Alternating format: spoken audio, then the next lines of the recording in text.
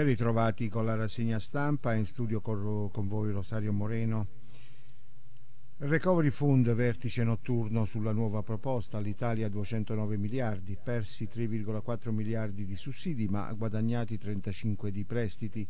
Michel dice sono fiducioso, accordo è possibile. Intorno alle 19 il Presidente del Consiglio europeo ha annunciato la nuova offerta su cui si confronteranno i leader che prevede 390 miliardi di sussidi a fronte di 360 di prestiti. La cifra che spetta all'Italia nell'ultima bozza potrebbe ancora variare, ma al momento è più alta di quanto previsto inizialmente dalla Commissione. Crescono inoltre i, i rebate, gli sconti per i paesi frugali, quasi raddoppiano quelli dell'Austria. Nel pomeriggio cauto ottimismo dei leader. Coronavirus, risultati promettenti del, dal vaccino di Oxford, forte risposta immunitaria. Si tratta di risultati preliminari riferiti alla fase 1-2 di sperimentazione che ha coinvolto 1077 adulti sani, 35 anni di età media. Per settembre si attendono i risultati della fase 3, poi si potrà, eh, si potrà ehm, eh, portare tutta la produzione alla distribuzione. Coronavirus Francia tra i 400 e i 500 focolai, a Cuba primo giorno senza contagi, India teme 2 milioni di infetti entro agosto, superati 14,5 milioni di casi nel mondo. Il Regno Unito si assicura 90 milioni di dosi di vaccino. Dei primi otto paesi più colpiti dal Covid, la metà sono in America Latina, Latina come Brasile con 2 milioni di casi, Perù, Messico che conta più morti dell'Italia e il Cile. Coronavirus Arcuri pubblica bando europeo per l'acquisto di 3 milioni di banchi per le scuole. La gara indetta per l'avvio dell'anno scolastico che partirà il 14 settembre scade il 30 luglio. I contratti dovranno essere firmati entro il 7 agosto e l'azienda vincitrice dovrà consegnare i banchi entro il 31 agosto. Regionali PD spinge per patto antidestra con Movimento 5 Stelle. Caso Marche nasce lista civica dei consiglieri 5 Stelle per il centro-sinistra contro l'immobilismo, appunto eh, si chiama. Gli accordi per le prossime consultazioni elettorali sono già chiusi, ma i Dem sperano di poter riaprire le trattative, ipotesi sulla quale punta Zingaretti, ma che non dispiace a Conte e potrebbe vedere l'intervento di Grillo. I prossimi giorni potrebbero essere decisivi per le Marche, ma anche per la Puglia. Notizie da Napoli e dalla Campania. Napoli shock, bus dell'ANM incastrato al volante, c'era un minorenne. In una sera del weekend un bus dell'ANM è stato affidato nelle mani di un ragazzo. La denuncia è esplicita nelle foto e nei video registrati dagli sconcertati automobilisti che hanno assistito alla scena. Ne è entrato in possesso il consigliere regionale Francesco Borrelli che ha immediatamente mandato una richiesta di chiarimenti all'azienda del trasporto pubblico napoletano per capire cosa sia successo e come si sia potuto verificare un episodio del genere.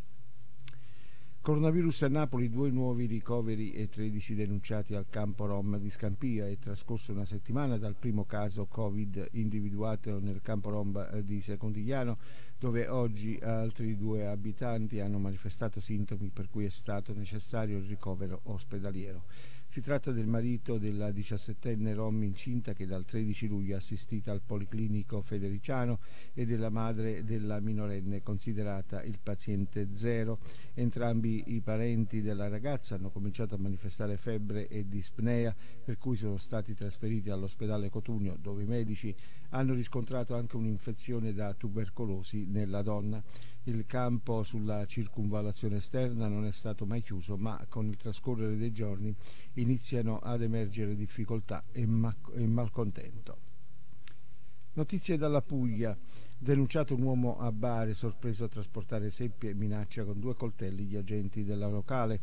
Minacce aggravate al pubblico ufficiale e porto ingiustificato di coltello sono i reati per cui è stato denunciato un uomo sorpreso dagli agenti della locale sul lungomare barese mentre era intento a trasportare diversi chili di seppia con l'acqua di mare raccolta dallo specchio d'acqua antistante la città vecchia per poi tagliarle e stenderle eh, stendendole sugli scogli e sul parapetto del lungomare.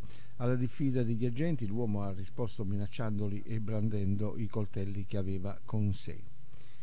Presentata la Fiera del Levante 2020 in programma dal 3 all'11 ottobre, la Fiera del Levante eh, ci sarà anche per il 2020 nonostante l'emergenza Covid-19. L'84esima edizione della campionaria Baresi in programma dal 3 all'11 ottobre è stata presentata assieme alle novità che la contra- contraddistingueranno, tra cui le misure anticontagio. Notizie da Treviso e dal Veneto. Rissa Conegliano arrestato un 23enne con l'accusa di tentato omicidio. Gli uomini della squadra mobile del commissariato di Conegliano sono risaliti a lui dopo 48 ore di indagine, grazie anche alle testimonianze raccolte eh, tra i presenti. Prosecco Docge prezzi giù e produttori in rivolta pagato come DOC, così si chiude tutti, eh, tutti hanno detto la denuncia dei viticoltori che dicono siamo scesi a 1,70 euro al litro. Nardi dice rafforzare la denominazione ma senza contrasti. Cluster di Covid-19 a Maser, ricoverata la badante, le condizioni della 58enne moldava si sono aggravate appunto ieri e nessun nuovo caso di positivo al Covid-19 dopo giorni. Aggressione a cornuda, il 63enne si aggrava e torna in coma farmacologico. Nel fine settimana i medici avevano provato a risvegliarlo bloccando la sedazione, ma dopo poche ore le sue condizioni si sono nuovamente riaggravate. Buffet irregolare, sunset chiuso, eh, denunciato il titolare. Intervento della polizia locale presso il ristorante lo scorso 10 luglio su segnalazione di alcuni clienti. Era scattata la chiusura per cinque giorni del locale che però non era stata rispettata. Il ristoratore Andrea Zawin si scaglia contro Polizia Locale Comune e dice siete ridicoli, non riapro più. Notizie dal Friuli Venezia Giulia. Imprenditore friulano scompare in Slovacchia è un giallo. Loris Colusso, originario di San Michele al Tagliamento, da quasi 30 anni opera a Bratislava con una società di servizi e un giornale web un imprenditore friulano di 67 anni, Loris Colusso, è scomparso eh, in Slovacchia, originario di San Michele al Tagliamento, da molti anni si è trasferito a Bratislava dove ha creato una società di servizi contabili e fiscali per imprese italiane impegnate in quel paese. Inoltre nel 2009 ha fondato il giornale online Buongiorno Slovacchia, l'unico sito di informazione su cronaca politica ed, economica, ed economica slovacca in lingua italiana. Federica chiede di dichiarare l'ex caserma Caverzarani eh, zona rossa. Alla luce dei casi positivi individuati tra i migranti bisogna prevenire la diffusione dei contagi, dichiarare l'ex caserma Cavarzerani zona rossa per contenere fin da subito e con la massima efficacia la diffusione dei contagi. Lo chiede il governatore del Friuli Venezia Giulia Massimiliano Federica alla luce dei tre casi positivi individuati tra i migranti ospitati nella struttura eh, udinese. Travolge un ciclista e finisce contro i tavolini del locale, incidente del primo pomeriggio a Udine, nella zona di Largo delle Grazie, ferito in modo serio l'uomo in bici, incidente del primo pomeriggio intorno alle 15 nella zona di Largo delle Grazie a Udine, per cause in corso di accertamento da parte della polizia locale, un uomo di 80 anni ha perso il controllo dell'auto in curva. Un ciclista di 48 anni è stato travolto, è grave ma non in pericolo di vita. La vettura è poi finita contro i tavolini esterni di un locale. Udine sotto le stelle conquista anche Borgo Grazzano. Franz dice ora guardiamo iniziative analoghe che, che provengono dalle periferie. In un solo mese Udine sotto le stelle si è dimostrata capace non solo di attirare in città migliaia di persone, ma di crescere rapidamente con l'allargamento a via Vittorio Veneto e a partire da questo sabato a via Grazzano, a dimostrazione di quanto questa manifestazione sia apprezzata dagli esercenti della nostra città. Lo dichiara appunto l'assessore al turismo e grandi eventi Maurizio Franz. Tamponamento a catene ad Aviano, coinvolte tre auto e quattro persone nello scontro lungo via Pordenone.